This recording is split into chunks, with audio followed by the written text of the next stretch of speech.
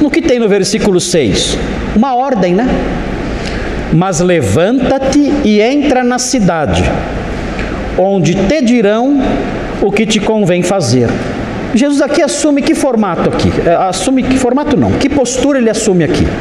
Ele, ele assume a postura de um líder agora. Eu vou, eu vou, ele começa a dar ordens. Ele dá ordens para Paulo. O apóstolo Paulo tem opção? Não tem opção. Dá uma ordem. Olha, ah, levante-se e entra na cidade. É a primeira ordem de Jesus para Paulo. Levante-se e entre na cidade. Eu sou o Senhor, eu sou, eu sou seu chefe agora. Eu sou seu dono. Então você vai fazer o que eu estou mandando agora. Você vai entrar na cidade. E mais, você vai aguardar ali, porque lá alguém vai dizer o que você vai ter que fazer.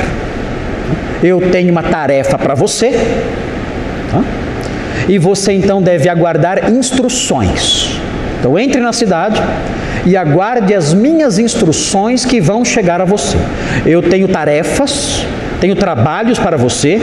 Você agora é meu, você é meu, você é meu servo e eu tenho algumas atividades para dar a você. Então entre na cidade e aguarde, porque você será instruído acerca das minhas ordens. Jesus começa se relacionando com Paulo desse jeito, no comando. É assim. Aliás, o que nós vemos aqui, o que nós vemos aqui é a realidade de uma conversão.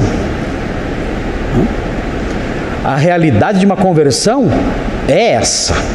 Quando alguém se converte, a primeira postura da pessoa ela, se, é, ela, ela é colocada na posição de um servo.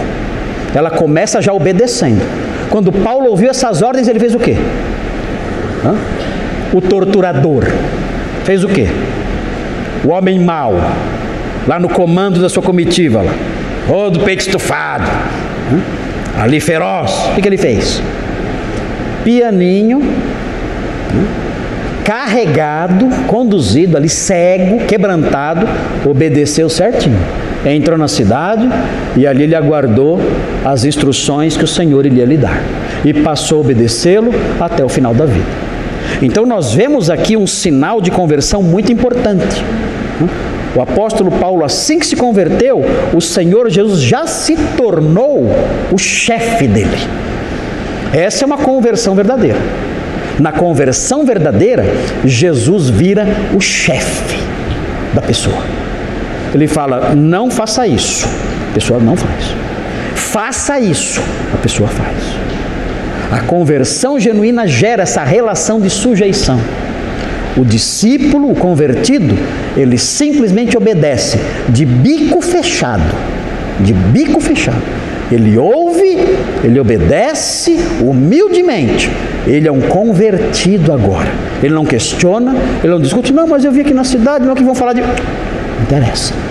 Ele de boca fechada, ele obedece. Jesus, para o convertido, é um chefe.